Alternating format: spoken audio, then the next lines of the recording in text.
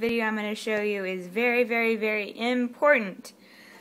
I was told that old chickens can't make tender birds. This um, this uh, chicken is a rooster that was old, um, uh, meat bird that we saved for breeding stock. Anyway, we ended up eating him.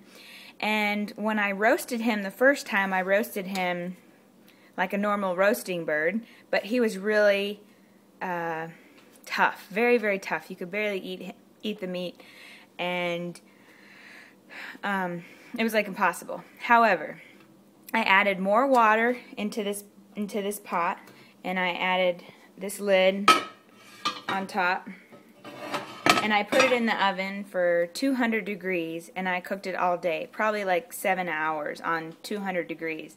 Anyway I gotta show you this. Look at this. Anyway the meat just comes off. Tears off like easy easy easy. Wait look at that. It just pulls off. That's the most beautiful dark meat you ever seen in your life. I mean look at that. That's more tender than anything. Who says you have to have these young birds that are like only six to nine weeks old to, per, uh, to process as good meat birds. That is a fallacy, and I have just proved it.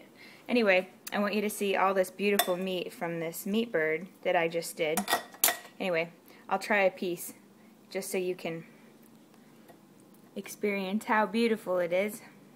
If I can get one off, it's kind of hot. Out.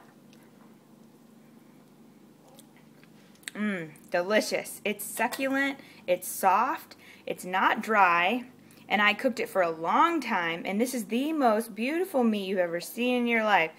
You wish you were here for dinner, I'm sure. Anyway, this is to tell you, Old Birds make the best, most flavorful meat you ever had in your whole life.